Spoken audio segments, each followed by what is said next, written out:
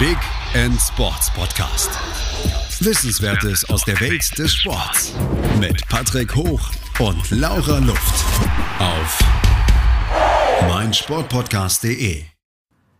Hallo, hier ist die Big End Sports Podcast mit heute mit Julia Porath, der Jugendhausleitung von Borussia Dortmund und Autorin zum Thema ja, Jugendbetreuung, wie wird mein Kind am besten Profifußballer oder was Vernünftiges sozusagen. Hallo. Hallo, Patrick. Ähm, aber vorweg darfst auch du die drei Fragen beantworten, die hier jeder beantworten darf. Okay. Die erste wäre dann, wer ist für dich der größte Sportler aller Zeiten? Ach, du ahnst nicht. Der größte Sportler aller Zeiten? Mhm. Usain Bolt fällt mir gerade ein. Usain Bolt. Ja, der macht auch ganz coole Werbung, habe ich letztens gesehen. Den habe ich noch nicht gesehen in der Werbung, aber egal. Ja, wo alle langsam sind und nur er schnell so ungefähr. Das ist Ach, ganz witzig. okay. Ähm, dann die zweite Frage. Was ist für dich das größte Sportereignis, an dem du je teilhaben durftest? Also es zählen auch Bundesjugendspiele.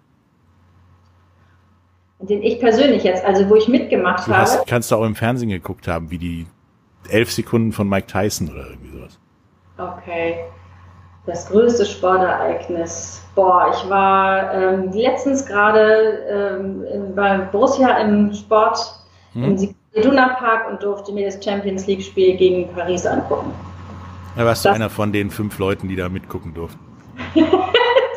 Na, das war ja noch vor Corona. Ja, ich weiß. Ähm, und die letzte Eingangsfrage ist immer, ähm, was ist neben deiner Sportart, also jetzt gerade Fußball in dem Moment, ähm, deine andere Passion, Lieblingssportart? Reiten. Springreiten. Okay, cool. Hatten wir letztens auch einen Podcast zu. Ach, guck an. Ja.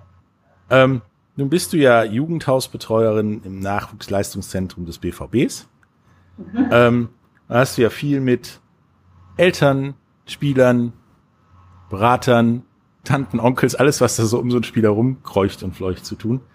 Ähm, wie läuft das denn in so einem Jugendhaus beim Nachwuchsleistungszentrum zu leben für so einen Spieler normalerweise ab? Ja, Ist das wie eigentlich- Jugendherberge? Bitte? Ist das wie Jugendherberge?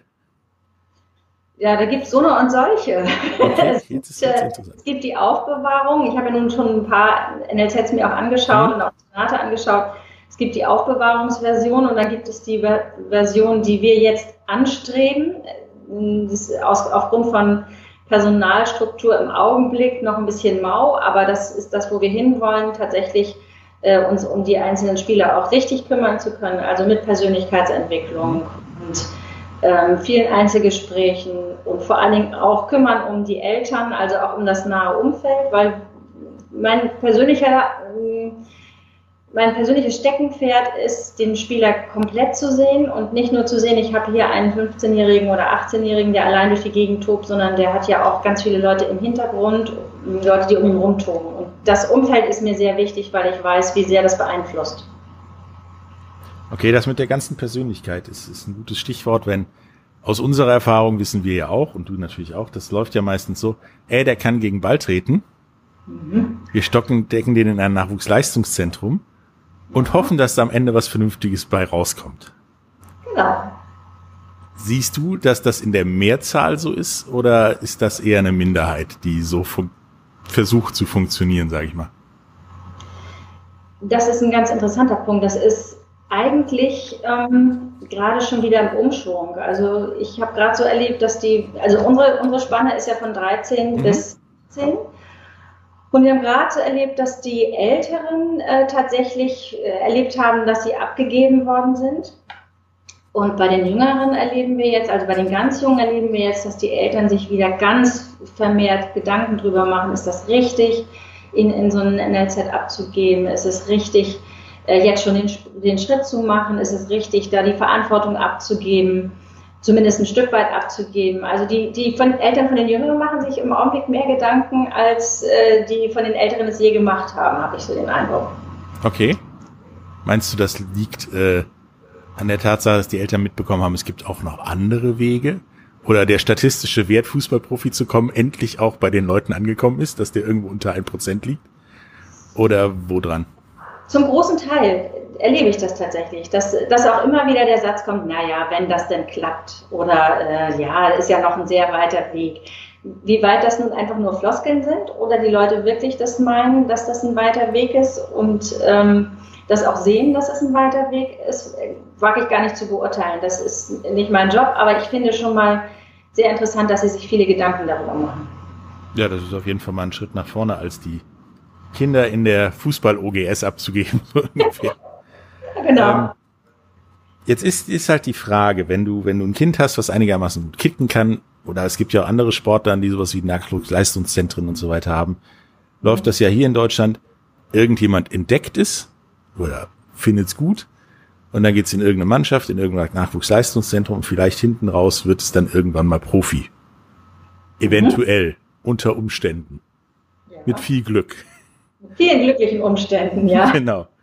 Ähm, wie siehst du denn das? Inwiefern sind Eltern von Kindern, die einigermaßen gut einen Sport betreiben, sage ich jetzt mal global, drei darauf vorbereitet, was denn das alles für eine ganze Familie und so zu tun hat? Weil das ist ja nicht nur, wie du gerade sagtest, ich gebe mein Kind da ab und viel Spaß und am Ende kommt ein hochbezahlter Millionär bei raus. Mhm. Ähm, ist sogar sehr unwahrscheinlich, dass der dabei rauskommt. Ähm, ja, inwiefern sind die darauf vorbereitet, was das, was da alles mit zusammenhängt, wer dann alles auf einen zukommt, was für neue beste Freunde man dann hat und so weiter und so fort? Gar nicht. Sie sind wirklich gar nicht darauf vorbereitet, sondern ähm, kommen dann hier mit Fragen an, gerade auch, weil ja viele Leute auf sie zukommen und auch die neuen besten Freunde, die dann ankommen. Mhm. Wie läuft das mit einem Berater? Wann braucht man den Berater? Äh, wann ist der Schritt in ein NLZ sinnvoll? Ähm, wann soll man überhaupt den Verein wechseln vom Dorfverein zum größeren Verein und so weiter. Also eigentlich habe ich noch kein Elternteil erlebt, was da wirklich darauf vorbereitet war. Mich eingeschlossen. Ich hatte auch keinen Schimmer. Musste mich auch langsam durcharbeiten durch den ganzen Spaß. Ja, dazu kommen wir nachher noch zu deinen Erfahrungswerten, weil die waren ja groß, sage ich mal. Ja, langwierig. Oder sind, sind noch groß und langwierig. Ja.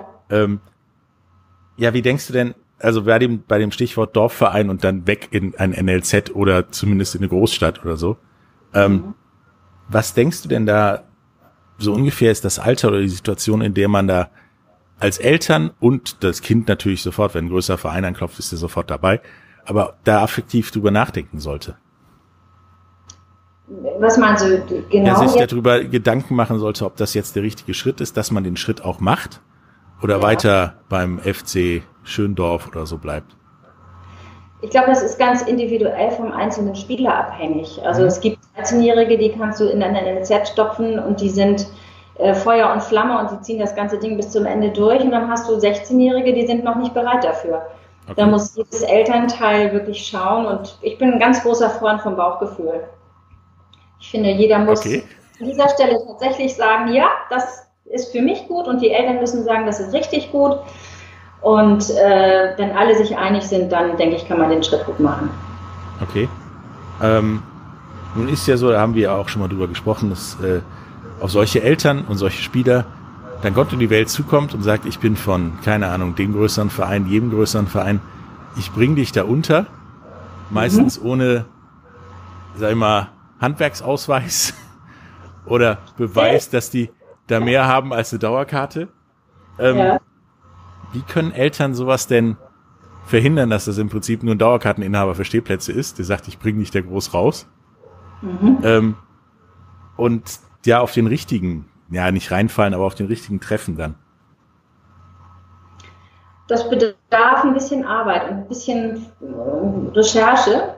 Mhm. Ähm, auch individuell. Also ich glaube, man, man findet denjenigen auch nur wieder dadurch, dass man sich ein paar anschaut, ein paar ähm, größere Agenturen sich auch anschaut. Also die Leute, zu denen ich Vertrauen hätte, die sind eigentlich alle in einer etwas größeren Agentur untergebracht. Mhm. Und da kann man dann schon mal nachgucken bei transfermarkt.de oder ähm, auch im Internet sich mal durchforsten nach Beratern und dann gucken, wo sind die eigentlich untergebracht, sind die angegliedert irgendwo.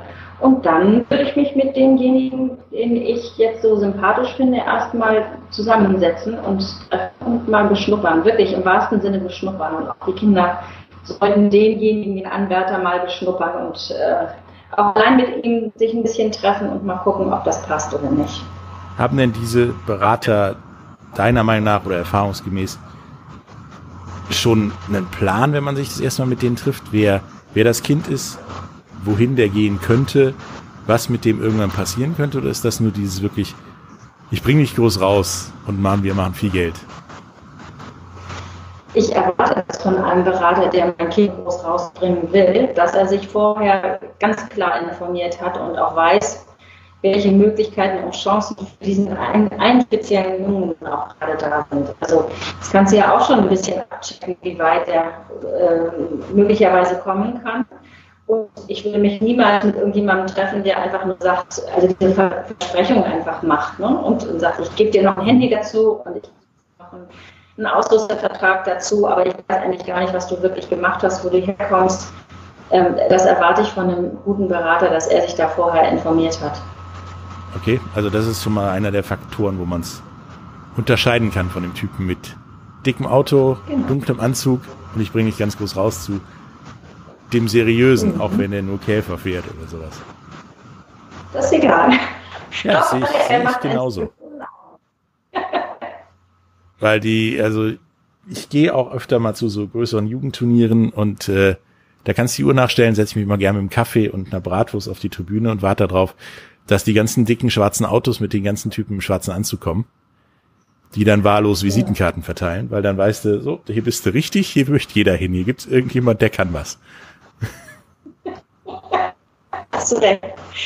Ich habe letztens gerade, das äh, kann ich dir noch einmal schnell dazwischen schieben, ich habe letztens ja, gerade eine, eine Unterredung mit meinem Vater gehabt, der genau das erzählt hat. Da wurde er angesprochen oder an, äh, angerufen, weiß nicht, und jemand hat sich mit ihm verabredet und dann kam er zu diesem äh, Treffen und dann fuhr der in dem dicksten Auto vor, was man sich vorstellen kann und äh, stieg in seinem dicken Anzug aus und traf nun auf jemanden, der völlig natürlich ist und Ralf mhm. nicht lieber wegredet und hat ihm gleich gesagt, also vielen Dank für kommen, aber wir passen nicht zueinander.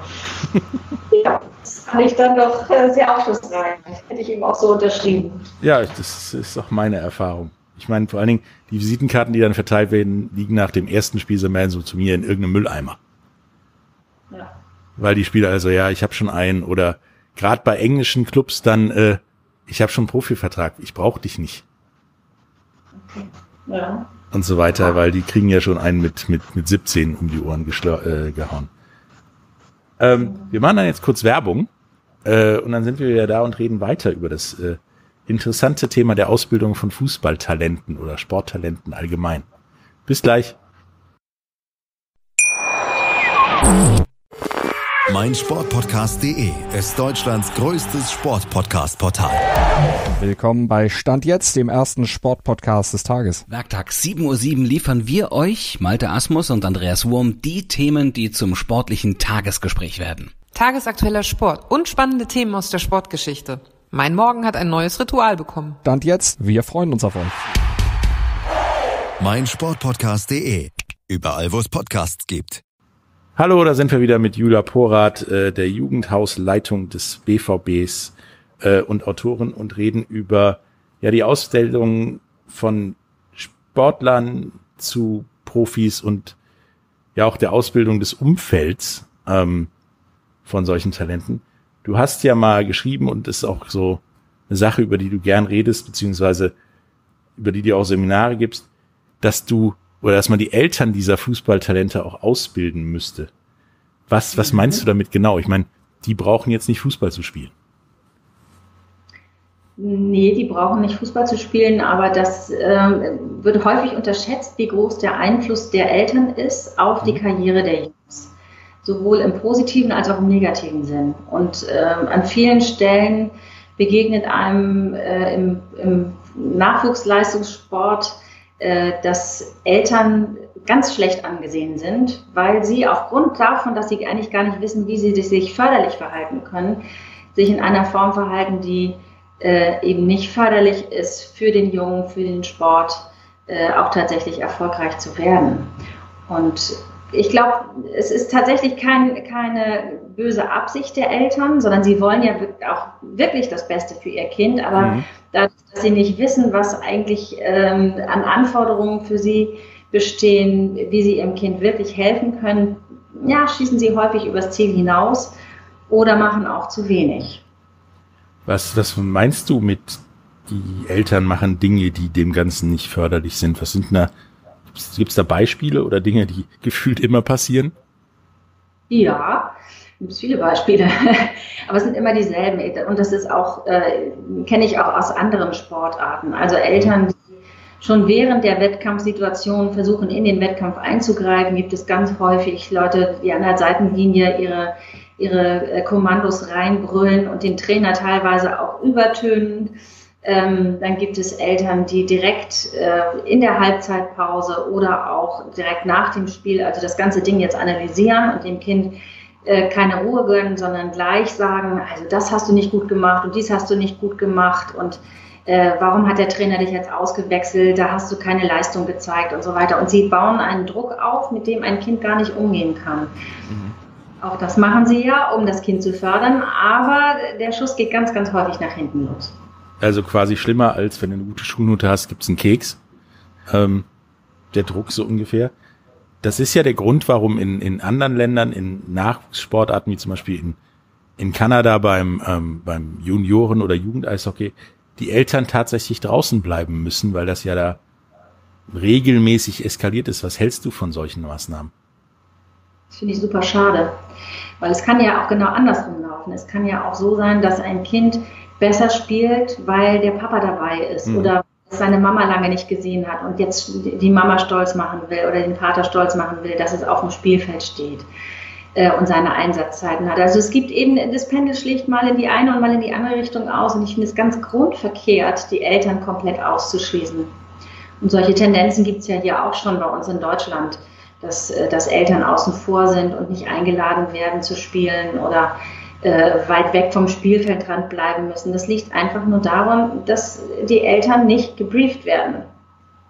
Wie meinst du denn, dass man, oder wann, sagen wir es mal so, wann und wie, ähm, könnte man die Eltern denn richtig briefen, beziehungsweise den nahelegen, wie man sich vernünftig verhält, weil ich sehe das genauso. Also das ist ja meistens böse Eltern, gute Eltern und hängen tut das Pendel sehr selten. Ähm, der eine oder der andere braucht auch mal den Zuspruch der Eltern von draußen. Und der eine oder andere, dem ist das komplett Latte, aber auch eben nicht immer. Deswegen, wie denkst du, wann man und wie man dieses Briefing der Eltern anbringen sollte? Direkt, wenn die Kinder anfangen, Fußball zu spielen? Oder erst, wenn die schon im NLZ sind oder dazwischen? Also, man, man begegnet auch schon Eltern von äh, Siebenjährigen, die auch so schon drauf sind wie Eltern. Das ist richtig die um 19 geht. Ne? Also ähm, ich würde dafür plädieren, so früh wie möglich, möglichst schon in den ganz kleinen Vereinen, wo die Kinder zuallererst ja auflaufen, dass man von vornherein den Grund legt, also äh, den Grund legt, indem man die Eltern schult. Mhm. Und sagt, also herzlich willkommen bei uns im Verein und wir stellen uns das hier so und so vor. Ihr helft euren Kindern auf die und die Art und Weise und dann Schritt für Schritt mit den Eltern immer kontinuierlich weitergeht. Und sobald man merkt, da sind irgendwie kommen komische Strömungen auf, dann gleich wieder die Eltern schulen, aufmerksam machen. Viele Eltern merken das gar nicht. Also meinst du, es sollte äh, neben den Trainer für die Fußballspieler, für die Torhüter, Kondition, Athletik und was weiß ich alles, auch noch sozusagen Elterntrainer geben, die dann auch so ein bisschen ein Auge drauf haben, dass die nicht alle fünf Minuten ausrasten oder vielleicht auch gar nichts sagen? Genau. Okay. Also äh, du brauchst dich ja nur selber zu beobachten, wenn du dich an, an Spielfeld dran stellst. Es ist hochinteressant, sich mal zwischen die Eltern zu stellen und einfach mal die Ohren aufzumachen. Ich weiß. und dann daraus kannst du ja schon, äh, weiß ich nicht, jedes Vierteljahr dich mal einmal bei einem Verein hinstellen, hören und dann merkst du die Strömungen, die da sind und dann kann man darauf äh, aufmerksam machen während eines kleinen Elternabends oder was wir jetzt hier machen werden im, äh, in der dunklen Jahreszeit, wenn die Eltern zum Training oder auch vor dem Spiel kommen, es ist kalt draußen, äh, die frieren, dann gibt es äh, bei uns dann demnächst ein Elterncafé, wo die Leute vor dem Spiel oder auch während der Trainingszeiten einfach hinkommen. Und da kriegen sie immer so einen kleinen Input von uns. So eine kleine Elternakademie werden wir hier ja. aufziehen. Das ist cool, weil ähm, aus eigener Erfahrung kenne ich das. Du berätst einen Spieler oder du, du guckst dir Talente an, weil du da eingeladen wurdest oder da weißt, dass da ist ein Talent, mit dem du in Kontakt bist und, und was machen willst. Und dann stehst du da draußen bist der Einzige, der gefühlt nicht einen von den 22 Spielern permanent anfeuert. ähm, schreibst ja. vielleicht auch mal was auf, dich ruft auch mal jemand an und du gehst ans Handy und drückst es nicht weg. Und nach ungefähr im Sekundenbereich ist das, kriegt die Hälfte der Eltern mit, der ist was, was nicht Eltern ist. Und dann wird über dich geredet, dann wird, wirst du auch angesprochen und irgendwann ist es so eskaliert, dass du dem Spiel und dem Talent, was du da angucken möchtest, also kaum noch folgen kannst. Ähm, meinst du, dieser Fokus auf, da ist, oder ist jemand Besonderes, der macht irgendwas, der will irgendwas von den Eltern, ich versuche meinem Kind dazu helfen, ist der gut oder schlecht für das Kind? Oder ist das schon dieser Schritt zu viel? Das ist der Schritt zu viel, weil äh, wenn, wenn man sich so ein bisschen ja in diesem Bereich auskennt, dann weiß man, äh, gute Kinder stehen ja unter Beobachtung oder talentierte Kinder, sage ich jetzt mal so, nicht gut. Talentierte Kinder stehen ja unter Beobachtung schon von ganz klein an weil alle nach diesen Talenten nun äh, explizit suchen. Und ähm, also ich brauche mir überhaupt keine Sorgen zu machen, wenn mein Kind wirklich richtig talentiert ist, dann wird, werde ich angesprochen und dann wird das Kind irgendwann angesprochen zur richtigen Zeit oder äh, wohl eher auch zu früh, als dass ich mir Sorgen machen muss, dass es nicht angesprochen wird. Entspannung. Ich, ich finde immer, Entspannung ist total wichtig und je entspannter man an die ganze Sache rangeht, umso mehr Spaß hat das Kind und je mehr Spaß das Kind hat, umso besser wird es auch.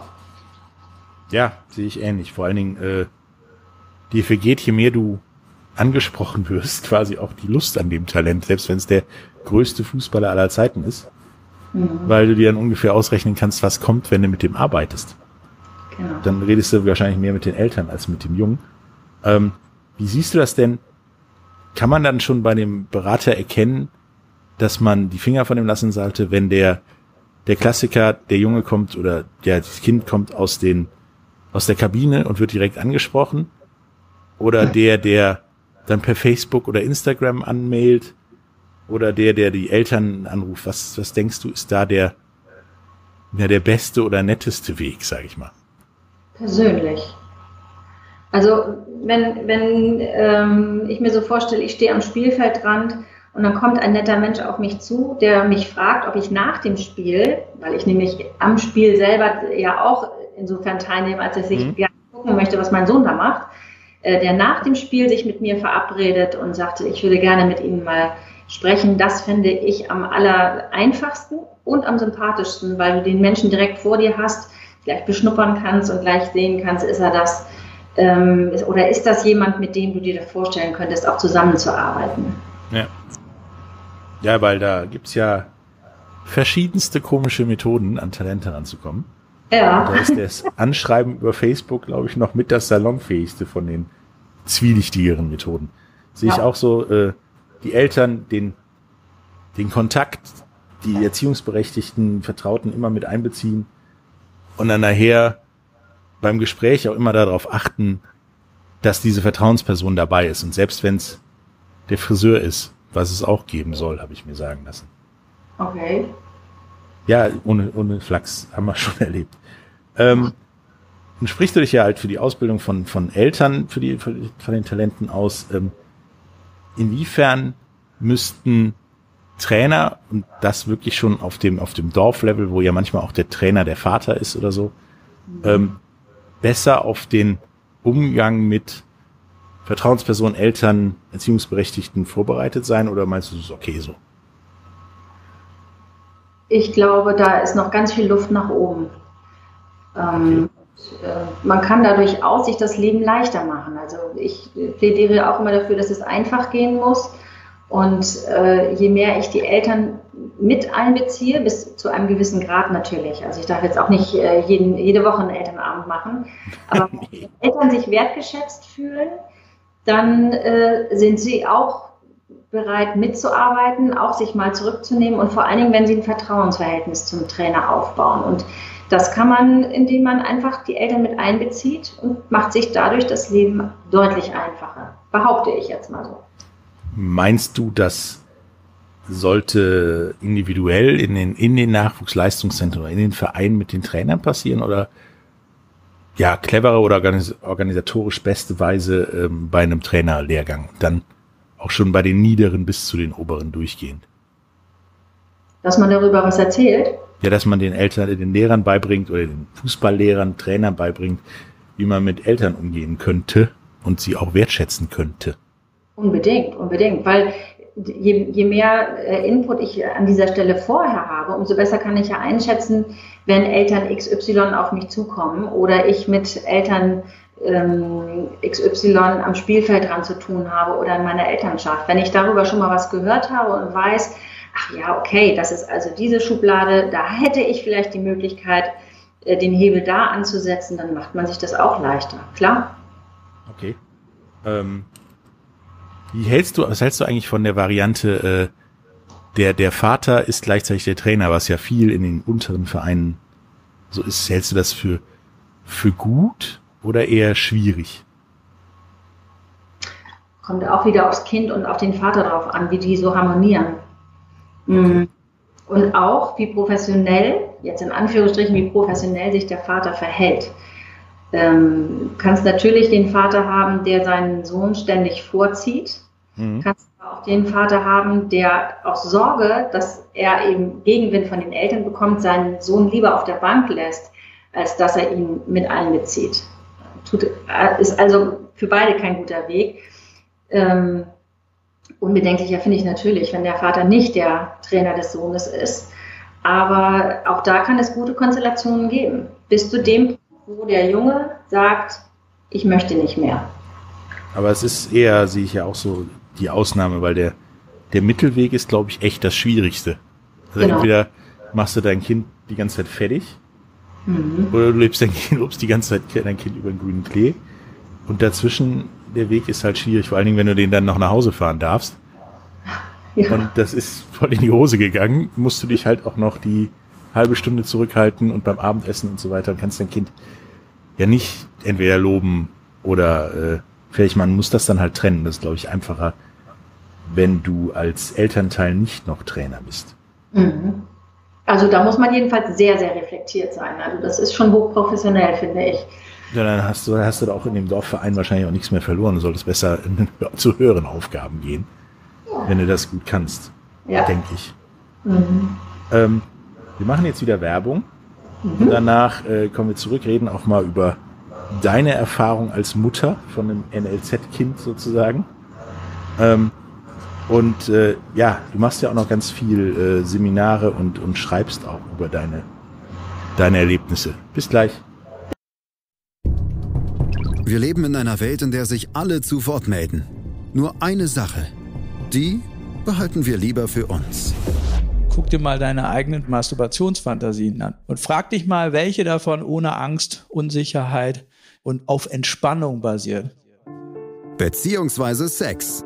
Der Podcast für Paar- und Sexualprobleme. Hast du innerlich eine Rechnung offen und willst du diese Rechnung begleichen oder sagst du, okay, ich möchte in eine zufriedene und liebevolle Beziehung finden? Bettina Utzler und Robert Cordes, Sexualtherapeuten des Instituts für Beziehungsdynamik Berlin, sprechen das an, was sich sonst keiner traut. Professionell, einfühlsam, kompetent. Wir sehen die Welt danach anders, wir sehen Beziehungen danach anders, wir sehen uns selbst auch anders.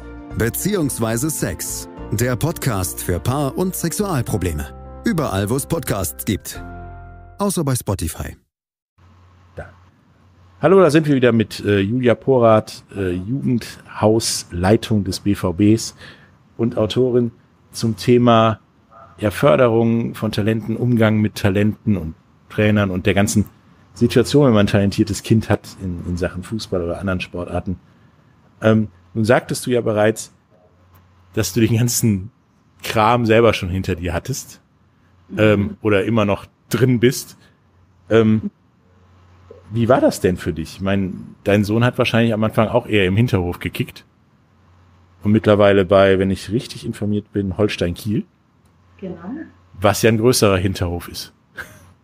Ja, ein bisschen größer schon. Ähm, also ich muss dazu sagen, sowohl mein ehemaliger Mann als auch ich, wir hatten überhaupt keine Ahnung von Fußball. Wirklich, okay. ich hatte keinen Schimmer. Ähm, habe auch immer äh, gesagt, in meinem Leben möchte ich nie, nie, nie bitte Fußballermutter sein. weil du jeden Samstag oder Sonntag da am Spielfeldrand stehen musst und frieren musst und es ist kalt und nass in Norddeutschland und wir haben ja in Norddeutschland lange gewohnt. Ähm, irgendwann hat sich das dann doch so ergeben, da guckt man ja dann, was die Kinder doch so gerne möchten und dann beugt man sich dem. Und äh, so sind wir dann da reingeschlittert. Ähm, ja, der hat natürlich, wir, wir haben viel im, im Garten gekickt. Äh, ich musste auch immer mit ran und äh, auf der Straße gekickt und so weiter. Und dann fing er im Dorfverein an. Genau, aber das war auch so ein bisschen mehr zufällig. Er hat einen Jahrgang höher dann gleich gespielt, weil ähm, ich keine Ahnung von Jahrgängen hatte und einfach ihn habe mitgehen lassen mit einem äh, Nachbarsjungen, den er gut kannte. Und äh, ja, nachdem er dann das Probetraining da gemacht hat und drei Wochen vergangen waren, wollte der Trainer ihn auch nicht mehr runtergehen lassen in den richtigen Jahrgang. Und so nahm das Ganze dann seinen Lauf. Mhm. Und dabei äh, hast du da die Fehler die gemacht, die du jetzt überall siehst? Oder sind dir die aufgefallen und sagst, ich mache das anders und es läuft runter? Oder wie bist du dazu gekommen, erstmal Jugendhausleitung irgendwann zu werden? Mhm. Äh, neben dem Angebot, was natürlich gekommen sein müsste. Oder und auch über diese Problematik äh, Seminare zu geben und zu schreiben. Also ich habe diese Fehler äh, zum Glück nicht alle gemacht, ähm, aber natürlich viel beobachtet. Ich bin sowieso jemand, äh, der sehr, sehr gerne Menschen beobachtet und dann darüber nachdenkt, warum das so ist, wie es ist und warum sie sich so verhalten, wie sie sich verhalten. Und äh, dadurch, dass ich überhaupt keinen Ehrgeiz an dieser Stelle hatte, sondern es mir einfach nur darum ging, so die Herzenswünsche meiner Kinder äh, herauszufinden und sie darin zu fördern, dass sie diese auch leben dürfen. Ähm, habe ich bei, meinen, bei allen meinen Kindern übrigens gemacht, nicht nur bei, beim Finn. Ähm, habe ich mich nur darum bemüht, eben zu gucken, ist es das, worauf er wirklich Bock hat? Und ist er da so verrückt, wie man das sein muss, um diesen Beruf machen zu wollen? Ähm, und als sich das so klar herauskristallisierte, dass er so verrückt ist und er eigentlich wirklich nur Fußball machen wollte, dann habe ich ihn natürlich auch ja, nach Rat und Tat unterstützt. Aber zum Beispiel keine Analysen gemacht mit ihm oder äh, am Spielfeldrand rumgebrüllt. Der Typ bin ich auch nicht. Ich äh, pöbel dann so leise vor mich hin, wenn einer meinen Sohn fault. Ja. Wird auch schon mal gegen so eine Handlaufstange getreten wahrscheinlich. Nee, das nicht, aber ich, ich äh, bin doch ein sehr empathischer Mensch und äh, wenn jemand so im Stadion vor mir sitzt, dann muss er schon mal aufpassen, dass er, wenn mein Sohn schießt, nicht äh, meinen Schuh in seinen Rücken bekommt. Okay. Weil so eine. ja, es, äh, ich muss mich dann auch immer entschuldigen, es tut mir dann wirklich sehr leid, aber das ist einfach so, ich bin da so mit, mit drin dann, ja. Das ist vollkommen nachvollziehbar, denke ich. ähm, nun war, hat Finn ja in seiner bislang noch nicht so großen, langen Karriere und, mhm. und ist ja auch noch früh in seiner Karriere, ja, ja, schon so ziemlich alles durchgemacht, was man machen kann, außer Kreuzbandriss. Ähm, ja. Schlüsselbeinbruch, glaube ich, Knöchelbruch mhm. ähm, waren die größeren Dinger, glaube ich, und sonst auch alles ausgeliehen werden. Ähm, von den Ligen her so sich stetig von unten nach oben gearbeitet. Mhm. Ähm, was hat dir das denn über die ganze Fußballwelt neben deiner Tätigkeit im, im Jugend-Nachwuchsleistungszentrum äh, für Einblicke gegeben, wo du sagst, darauf ist definitiv keine Sau vorbereitet? Ja, darauf, dass die Glückssträhne, nenne ich mal so, also die Erfolg äh, oder die Erfolgswelle ganz schnell abbrechen kann und zwar innerhalb von Bruchteil einer Sekunde, wenn eine Verletzung kommt.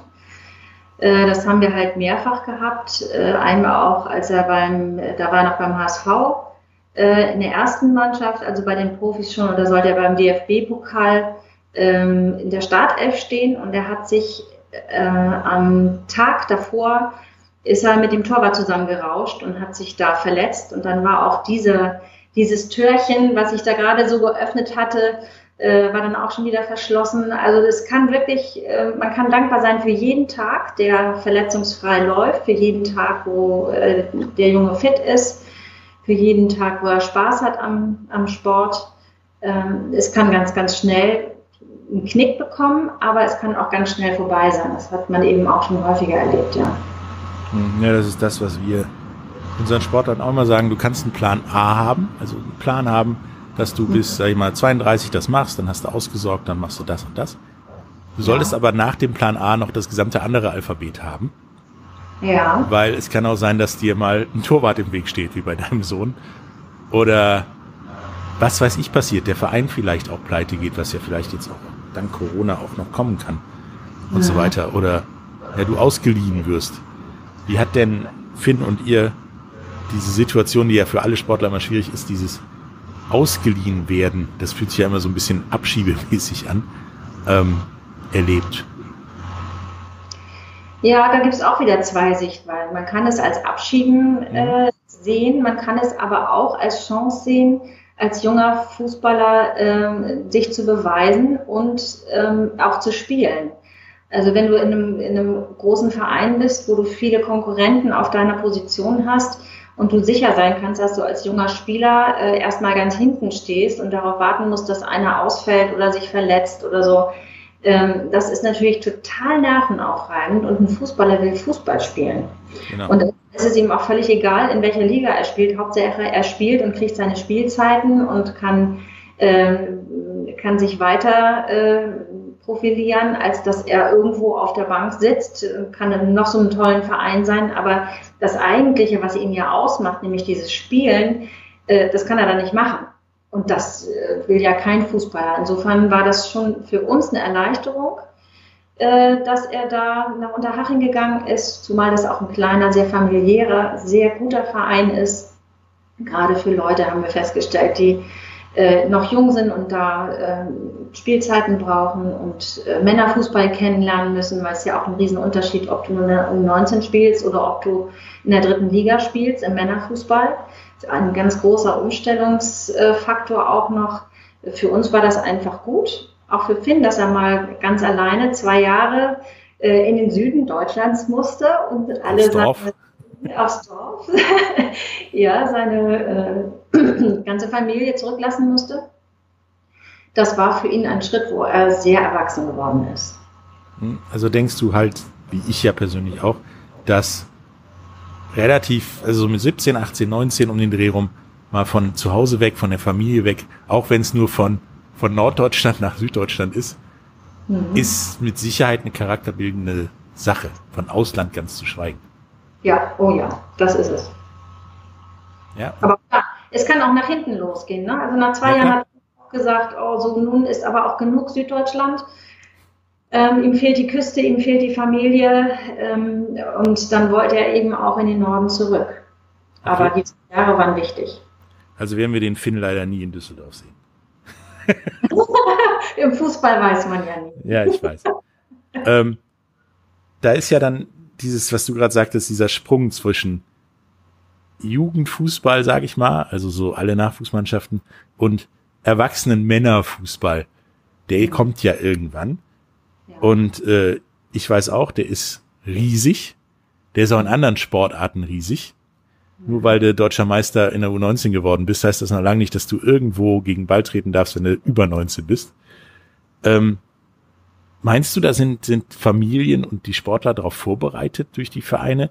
Weil es gibt ja eine Masse Leute, die sind Nationalmannschaftskapitäne in der U19 und so weiter. Mit dem ja, quasi Ende der U19 spielen sie dann doch nur Oberliga oder Regionalliga und sind komplett frustriert und äh, landen da meistens auch daran, dass sie halt die Angebote erstmal nicht annehmen, weil sie denken, sie sind zu höheren Berufen als zum Tabellenführer der Regionalliga oder einem kleineren Verein in der dritten Liga. Meinst du, da sind die darauf vorbereitet? Und wenn nicht, wie könnte man das besser machen? Ich meine, das ist ja auch im Interesse von so einem Nachwuchsleistungszentrum.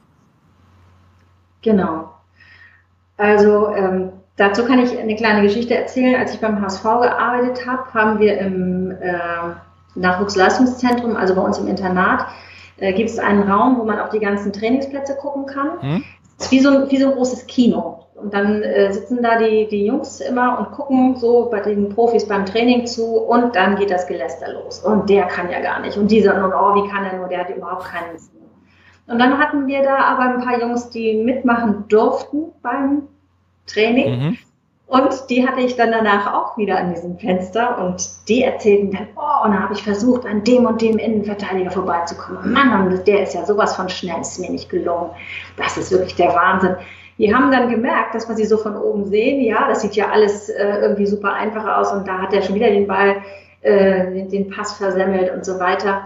Aber wie groß der Sprung dann doch ist, das erleben sie halt nur im Erleben selber. Mhm. Und denke ich, ist es für die größeren Vereine einfach sinnvoll, junge Spieler, von denen sie meinen, die haben die Perspektive nach oben zu gehen, mit ins Training immer mal wieder einzubeziehen, mit ins Trainingslager fahren zu lassen, damit die schon mal eingenordet werden, bevor sie überhaupt da oben landen, was das für ein Sprung ist und vor allen Dingen auch, was das an Kraft bedeutet, ähm, sich da oben etablieren zu wollen. Hm. Also das würde ich jedem Verein äh, einfach wünschen, dass sie kannst ja auch schon, schon den 16-Jährigen mitnehmen und dann mal zeigen, oh, hier hängt die Messlatte deutlich höher als das, was du in deiner Bundesliga bis jetzt gespielt hast. Das ist Jugendbundesliga. Hat überhaupt kein, äh, kein ähm, ist überhaupt nicht zu vergleichen mit der, mit der Profi-Bundesliga, aber dann werden die schon mal gleich so ein bisschen geerdet und kommen nicht irgendwann oben an und denken sich, wow, hier bricht die Welt gerade zusammen, weil ich jetzt doch dann hier erstmal die Bälle schleppen muss und weil ich äh, die Hütchen aufbauen muss mhm. und letzter in die Dusche gehe und mir als letzter was zu essen holen muss. Ähm, man macht es den Jungs einfach deutlich schwerer, wenn man sie erst dann holt, wenn sie meinen, sie sind da oben schon wirklich richtig äh, gut angekommen. Meinst du denn, ich meine, in Nordamerika ist das so, ich weiß das aus eigener Erfahrung, dass dieses Hackordnungssystem da ja quasi schon in der Junior High School anfängt, dann in der High School darfst du das nochmal, dann darfst du das auf dem College nochmal, ist es dann als Profi nochmal durchmachen darfst. Ähm, eine Sache, die man vielleicht den Kindern schon früh beibringen sollte? Oder ist das ja. gut so, dass sie mit der Realität erst äh, ganz am Ende konfrontiert werden? Nee, ich äh, finde, also Hackordnung finde ich immer ganz schlimm. Ja, Rangfolge, irgendwie sowas. Ich weiß, was du meinst. Ähm, also was ich schön finde, wenn Kinder und Jugendliche gleich von Beginn an auch mit einer gewissen Demut unterwegs sind. Mhm. Die hilft ihnen nachher auch später, wenn sie irgendwann mal vielleicht oben ankommen, äh, kommen sie bei den Profis deutlich besser an, wenn sie mit einer demütigen Haltung da ankommen, als mit dieser großkotzigen Haltung, die ihnen vermittelt wird an vielen Stellen, bevor sie da oben ankommen. Und dann äh, fallen sie da erstmal äh, hinten über, wie eigentlich so der Hase läuft. Das äh, kann man schon von ganz klein auch schon in den Familien vermittelt bekommen. Also sich richtig gut einzuschätzen, äh, sich selbst wertzuschätzen, aber eben auch nicht zu überschätzen, ist wieder ein Thema, was die Eltern in den Familien legen können und äh, sich auch einzubringen und teamfähig zu werden, da wird der Grundstein in der Familie gelegt und in den kleinen Mannschaften, ja. Ähm, das mit dem, dem Auftreten, dem, äh, ja, wie du sagtest, ein bisschen großkotzig vielleicht auch schon mal ankommen bei den Erwachsenen. Hallo, hier bin ich, war Torschützenkönig in der U19. Und dann sagen alle, so what? Ähm, das erlebst du ja immer wieder. Ich meine, manche U19-Spieler fahren dickere Karren als die Leute in der ersten Mannschaft. Und die mhm. sind im Zweifelsfall deutscher Meister oder so. Ähm, meinst du, es wird in, in NLZs zu wenig auf solche Charakterdinge Wert gelegt? Ich weiß halt, dass in anderen Ländern, ähm, wenn du mit dem ALG, AMG-Furke ankommst, am Tag, nachdem du deinen Führerschein gemacht hast, dann spielst du auch erstmal nicht. Mhm. Dann darfst du Kekse verkaufen an die Muttis, so ungefähr. Mhm. Ähm, und hier in Deutschland ist das ja, ich sag mal, wahrscheinlich selten so, dass dann gesagt wird, pass mal auf, ist mir relativ egal, wie gut du bist.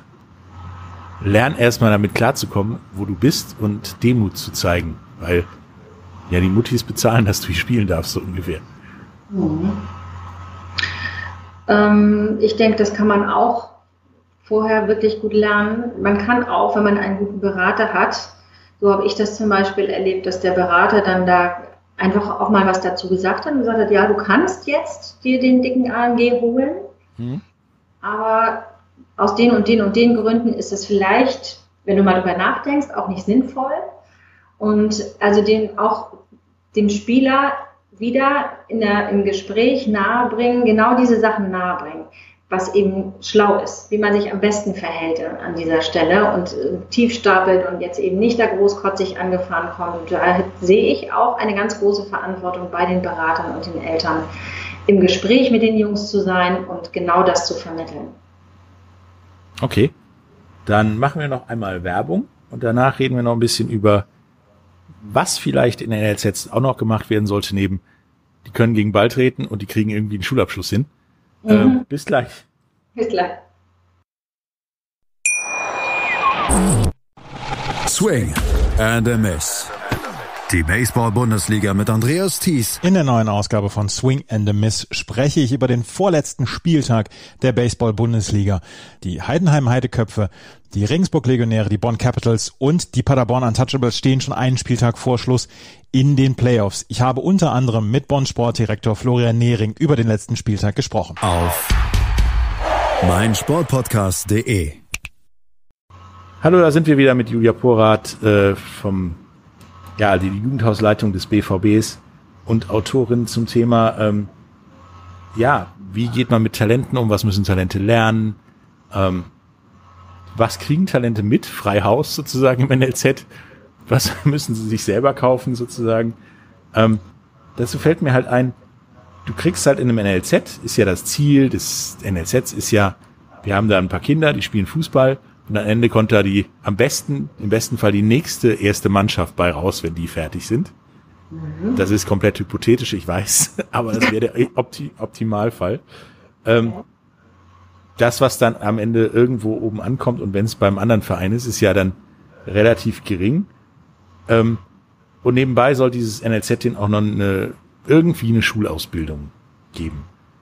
Nun ist ja aus meiner Erfahrung mit NLZs, in, auch in, in anderen Sportarten ist so, es ist dann wirklich so irgendein Schulabschluss und nicht der möglichst beste, sondern wird dann auch gesagt, ja, machen, machen, keine Ahnung, Hauptschulabschluss und dann wirst du Lagerist und dann ist alles gut.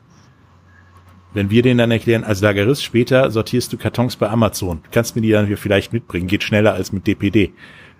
Aber äh, das ist dein, das ist dein Ziel im Moment schulisch. Und dann gucken die alle mal ganz doof. Wie siehst du das? Also das, ich weiß jetzt nicht, ob das bei euch auch so ist, aber bei vielen anderen bestimmt. Ja klar, das ist bei uns auch Thema. Ähm, die Schulunlust, die chronische Schulunlust äh, grassiert auch bei uns, äh, liegt aber am deutschen Schulsystem, an dem wir gerade äh, im Augenblick jetzt hier noch nichts ändern können. Äh, es ist für uns ganz wichtig, dass wirklich der bestmögliche Schulabschluss erreicht mhm. wird. Auch wenn die Jungs sich ganz häufig dagegen sperren, aber wir versuchen dann eben auch da eine gute Lösung zu finden. Ich bin immer eher ein äh, Lösungsfinder als ein Problemlöser, äh, Problemfinder. Und ähm, also da versuchen wir wirklich den Jungs das nahezulegen, eben auch tatsächlich das, was was am besten möglich ist, rauszukitzeln. Weil es, so, das glauben sie zwar nicht, aber es ist wirklich die einfachste Geschichte, um auch äh, nebenbei jetzt noch Fußball zu spielen. Mhm. Äh, wenn sie in eine Ausbildung gehen sollten, ich habe das auch in der dritten Liga erlebt, äh, dann ist es so, dass die tatsächlich in die Ausbildung gehen, Fußball dazwischen schieben am Tag, um dann wieder zurückgehen zum Ausbildungs, äh, zu gehen zum Ausbildungsplatz und das über drei Jahre, das ist ein enormer Kraftaufwand. Also da sitze ich lieber in der Schule sechs, sieben, acht Stunden äh, und bekomme damit ein wenig Aufwand, wirklich wenig Aufwand, meinen Abschluss, äh, meinen Abschluss und äh, habe dann den Rest Zeit für Fußball und für das, was möglicherweise auch noch möglich ist. Das ist nicht mehr so sehr viel, wenn man so mal den Tagesablauf von so einem NLZ-Bewohner mitbekommt. Aber äh, das ist wirklich die einfachste Geschichte um gut durch diese Jugendzeit durchzukommen. Mhm. Ähm, nun ist das ja, ich meine, für, falls es mit Fußball nicht klappt, ja auch wichtig, einen vernünftigen Schulabschluss zu haben. Und ich mhm. glaube halt, wenn du deine Ausbildung, was weiß ich, zum Beispiel als Lagerist machst, bist ja nicht nur vom Training körperlich platt, sondern vielleicht auch vom Kistenschleppen. Genau. Und äh, das ist ja nicht so gut. Wie siehst du denn ähm, die Alternative und damit dann ja auch den Schulabschluss für NLZ-Spieler ähm, ins noch nicht so bekannte Ausland zu gehen und da noch eine, eine Ausbildung zu sich zu holen. Zum Beispiel, es klappt jetzt nicht vom der U19 des BVBs in irgendwas in den ersten zweieinhalb Ligen zu kommen. Muss man ja leider so sagen, die dritte Liga ist ja halb gut, halb schlecht. Mhm. Ähm, dann zu sagen, pass mal auf, ich gehe, ich mache einen vernünftigen Schulabschluss, also mindestens Fachabi, mache dann in diesen Eignungstest und gehe dann zum Beispiel in den USA aufs College, wo ich, wenn ich da so gut spiele wie hier im NLZ, relativ schnell vielleicht auch in der Major League Soccer lande. Wie kommt das bei Spielern an? Oder ist das so, nö, ist ja nur die nur die Major League Soccer, die immer noch die zweitmeistbesuchte Liga der, äh, in Nordamerika ist? Also ich selber habe damit jetzt noch nicht so viel Berührungspunkte gehabt, so ein oder zwei, mhm. von weiß ich, die darüber gegangen sind.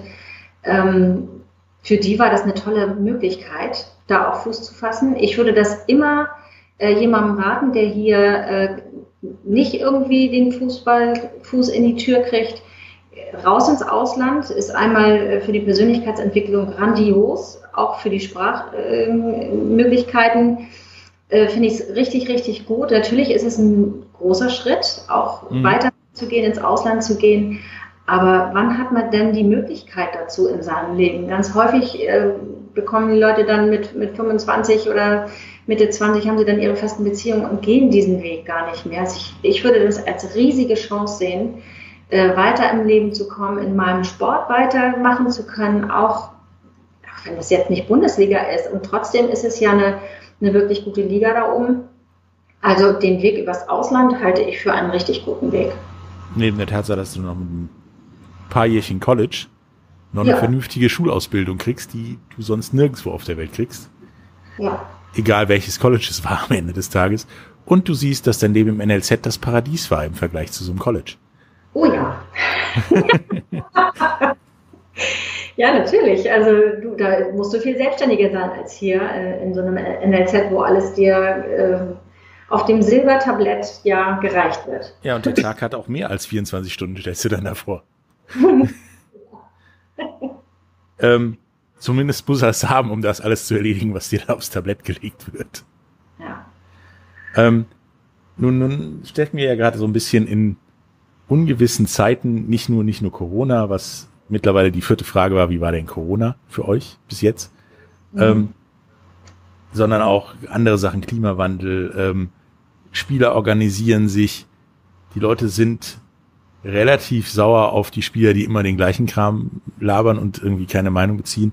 Inwiefern wird denn in einem NLZ auch den Spieler nahegelegt, hat man eine eigene Meinung und denen auch erklärt, was eine eigene Meinung ist oder welche Meinung okay ist und welche nicht? Das hängt vom Aufwand ähm, der einzelnen NLZs ab, wie sie sich mit den Spielern befassen. Also ist es nur eine Aufbewahrung oder mhm. ist es ganzheitlich?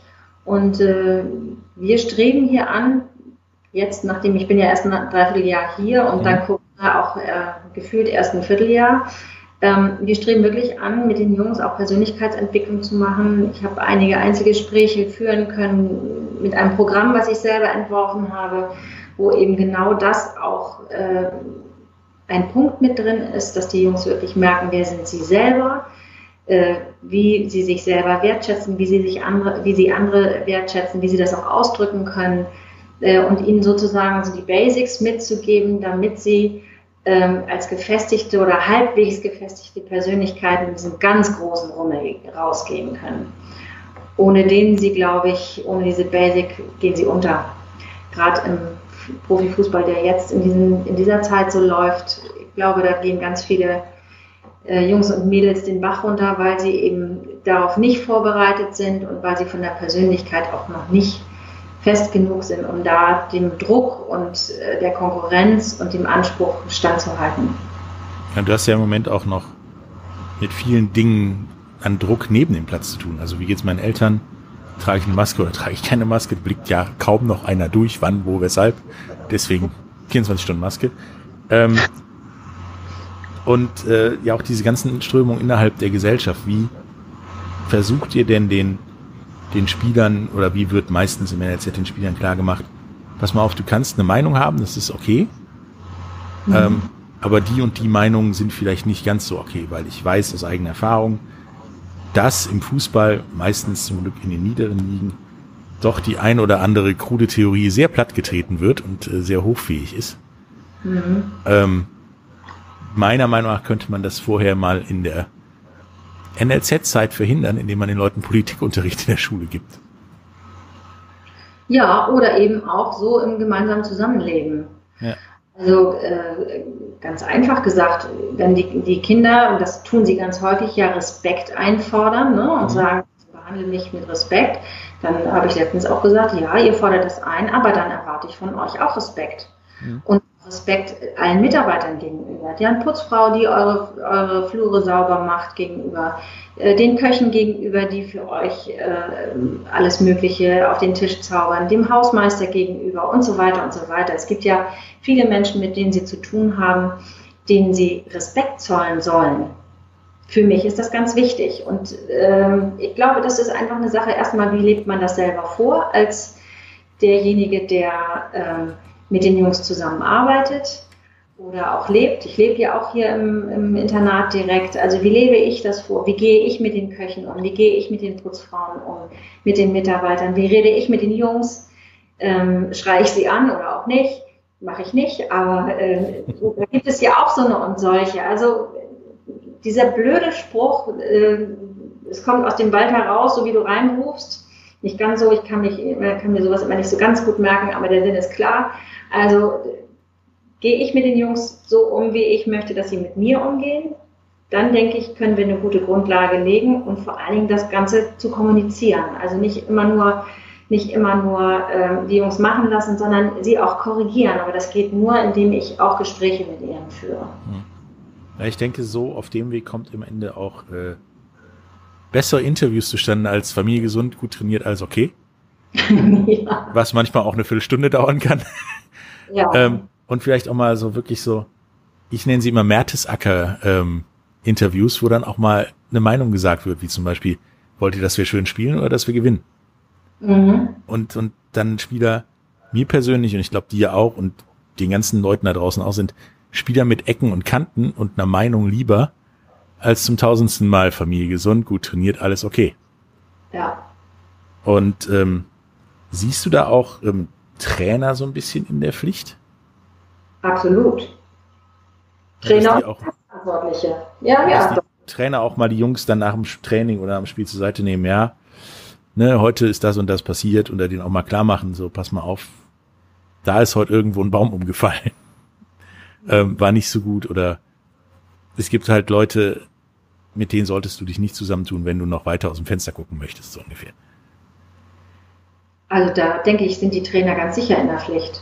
Aber auch nicht nur Trainer, du hast ja auch Physios, die an der Seite stehen, ja, Psychologen, die an der Seite stehen, die das alles mitkriegen und denen es aber auch wichtig sein muss und es muss auch vom Verein wichtig sein, dass es eben nicht nur darum geht, hat er sich jetzt verletzt oder geht er nicht humpeln äh, vom Platz runter, sondern äh, welchen Eindruck macht er? Wie, wie, ist das, wie ist es ihm ergangen, als er ähm, vielleicht ja einen Ausruf von außen gehört hat oder wie ist es ihm ergangen, als er den Elfmeter verschossen hat oder wie ist es ihm ergangen, als er gefault worden ist oder als er selber so hoch gekocht ist, dass er den anderen umgenockt hat. Also das sind ja alles so Sachen, da kannst du ja auch sehen, wie geht es einem Spieler.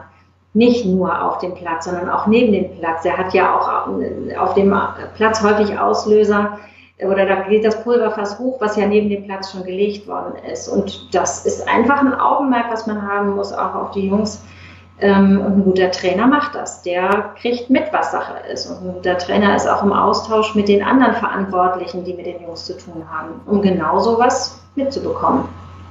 Also arbeitet ihr beim, bei, bei Borussia Dortmund jetzt auch mal langsam daran, dass die Spieler nicht nur gut Fußball spielen können, sondern auch ja, ein soziales Gewissen haben, soziale Verantwortung übernehmen können, wenn sie es meinen, müssen zu können.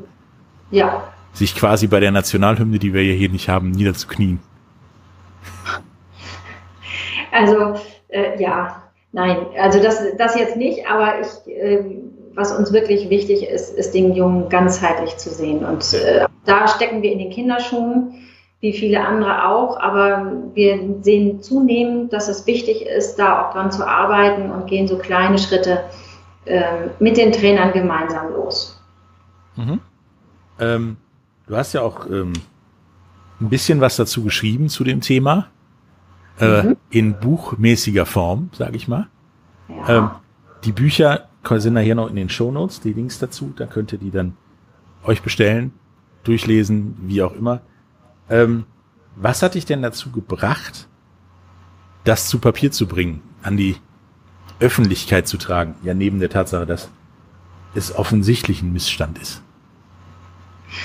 Also Zum einen haben mich Leute dazu gebracht, äh, weil es ist eben einfach das Thema, was mir auf dem Herzen liegt, nämlich dieses Buch heißt ja Survival, also Volltreffer, hm? Survival Guide für Fußballeltern. Ähm, dadurch, dass ich nun diese ganze, ganzen Jahre ja mit durchlaufen habe, Höhen und Tiefen und so weiter, habe ich natürlich auch so ein bisschen was darüber zu erzählen und auch, habe ich ja gesagt, schon mit vielen Eltern in Kontakt war und im Gespräch war und auch immer noch bin, ähm, habe ich halt gesehen, die Unwissenheit von vielen Eltern ist ganz, ganz groß und die Unsicherheit vor allen Dingen ist ganz, ganz groß. Wie gehe ich mit den verschiedenen äh, Menschen und Einflüssen und dem Druck den Ansprüchen im Profi- oder auch im, schon im Nachwuchsbereich um? Und äh, mir war das einfach wichtig, das, was ich weiß, zu teilen und äh, Hilfestellung zu geben für Eltern, die äh, Hilfe suchen. Und dann hatte ich gute Freunde, die immer wieder, oder auch Familie, die immer gesagt haben, Mama, du musst das mal aufschreiben oder Julia, mach das mal, schreib das alles auf, dann äh, hilfst du den Eltern an dieser Stelle. Und äh, so habe ich mich dann irgendwann, als ein bisschen freie Zeit da war, hingesetzt und das ganze Ding zu Papier gebracht. Ja, ja ich äh, gebe deinen Bekannten da vollkommen recht. Als ich äh, mich mit dem Buch auseinandergesetzt hat, hat man mich gefragt, ob ich Nackenprobleme hätte, weil ich die ganze Zeit genickt habe. weil, weil mir kommt das alles bekannt vor. Ich bin jetzt keine Fußballmama, kein Fußballpapa, ähm, sondern im Prinzip der böse Berater sind wir als Agentur. Ähm, und es kam mir alles so bekannt vor. Also von schreienden Eltern bis Eltern, die schon den nächsten Maradona da auf dem Platz rumfliegen sehen und äh, es ist es ist halt die Wahrheit sozusagen. Und äh, kann ich damit jedem angehenden Fußballpapa mal nur empfehlen. Vielleicht auch den Kindern, vielleicht sehen die sich auch selber mal in dem Buch und können damit Mama und Papa das Leben doch ein bisschen leichter machen. Ähm, weil, wie du ja auch sagtest, und das sehe ich ähnlich, das ist ein Zusammenspiel aller Kräfte, also der Familie, des Kindes, mit wem das Kind sich umgibt, Trainer, Physio, der Typ, der mit der Nagelschere den, den Rasen schneidet, was weiß ich. Ähm, ja, und, und ich finde das gut, dass ihr da in, in Dortmund das jetzt zwar weitermacht, aber doch wieder sucht, ein bisschen in die richtige Richtung oder andere Richtung zu schieben. Ähm, und dass da Charaktere rauskommen und nicht nur austauschbare, austauschbare gegen den Balltreter, sage ich mal. Ja. Ähm, Finde ich sehr gut. Ähm, wir unterhalten uns damit auf jeden Fall nochmal über, über so Sachen äh, in der Zukunft, wenn man mehr sehen kann, was bei euch hinten rauskommt. Da kommt ja irgendwas vorbei hinten raus, hoffe ich. Ja. Sonst wäre so ein NLZ ziemlich für ein Eimer, wenn die alle irgendwie zum SV Werl gehen oder sowas. Ja. Ähm, was hast du denn noch, würdest du denn noch gerne unseren, unseren Hörern mitgeben? Ja, ich würde gerne einfach ganz laut mal über die, die deutschen Fußballplätze Entspannung rufen. Also ich erlebe überall diese Anspannung, diese, ähm, ja, die Leute wollen natürlich äh, ihre Kinder weiterbringen, aber je mehr ich da reinrieche, umso mehr erlebe ich, dass äh, eine irre Erwartungshaltung da ist von Eltern an ihre Kinder und eine irre Erwartungshaltung von Eltern an die Vereine und an die Trainer, dass sie aus diesem Kind nun das äh, Nonplusultra machen und äh, die Sorge, nicht den richtigen Schritt zur richtigen Zeit zu machen. Also bitte, bitte einfach nur Entspannung. Ähm, das ist das Allerbeste, was man machen kann. Ganz gelassen dem Kind den Fußball äh, mit Spaß erhalten und dann gucken, was sich da ganz natürlich draus entwickelt. Sehr schön, finde ich nämlich auch. Also ohne, ohne Flachs. Es ist sehr unentspannt auf Deutschlands Fußballplätzen. Ja. Dann äh, ja, Julia, hat mir sehr viel Spaß gemacht, sehr gutes Thema. Wir reden da auf jeden Fall nochmal drüber. Und äh, viel Spaß dann noch im NLZ vom BVB. Ja, danke. Bis dann. Tschüss. Bis dann. Ciao.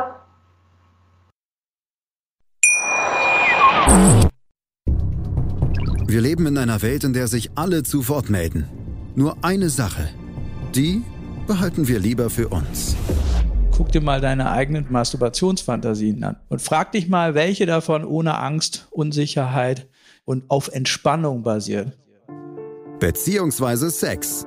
Der Podcast für Paar- und Sexualprobleme. Hast du innerlich eine Rechnung offen und willst du diese Rechnung begleichen oder sagst du, okay, ich möchte in eine zufriedene und liebevolle Beziehung finden? Bettina Utzler und Robert Cordes, Sexualtherapeuten des Instituts für Beziehungsdynamik Berlin, sprechen das an, was sich sonst keiner traut. Professionell, einfühlsam, kompetent. Wir sehen die Welt danach anders, wir sehen Beziehungen danach anders, wir sehen uns selbst auch anders.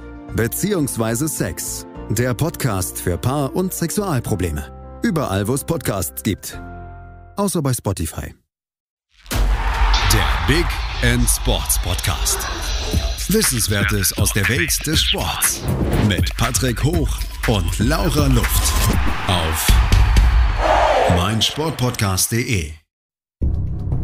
Wir leben in einer Welt, in der sich alle zu Wort melden. Nur eine Sache. Die behalten wir lieber für uns.